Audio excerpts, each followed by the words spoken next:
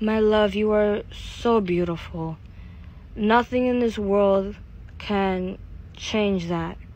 No matter how many people are reflecting themselves upon you, please, please, for the love of God, don't let these people tear you down. They're only reflecting because they're not you. They're trying to throw their trash upon you because you are beautiful. You are gorgeous. You are a very strong woman. You are light. And they don't like your light. They're trying to tear you down. But please, for the love of God, do not let them do that. Your story really hit home for me because I was also in the foster care system and it's been very tough, you know, dealing with a lot of stuff of the aftermath of being in the foster care system and I understand that completely. But what these people are saying about you is not true. Please do not listen to these people. These people out here are not worth your time. Just keep your family close, your loved ones, and take some time away from the internet. Give yourself a hiatus, a social media hiatus. It is fine to give yourself a break. Rest, my love. Please don't do anything crazy. You are worth everything, everything in this world. I know that is something I wish I would have loved to hear from my younger self.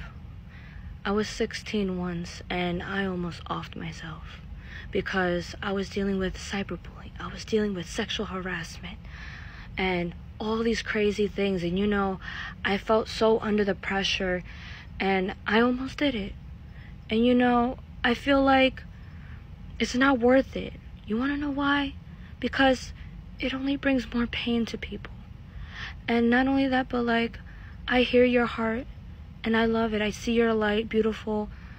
You deserve so much more, so much love, so much enjoyment in the world, happiness, peace. Heal, my love. It is time for you to heal. Don't let none of these people tear you down.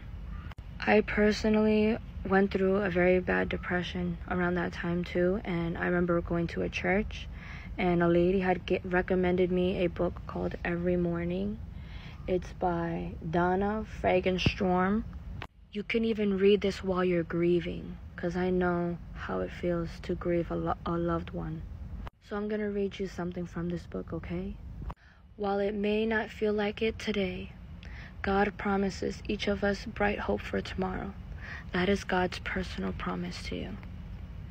No one can tell you how long your grief will last. Yet there is good news. One day your mourning will cease and gladness will step in. Because that's what you deserve happiness and peace.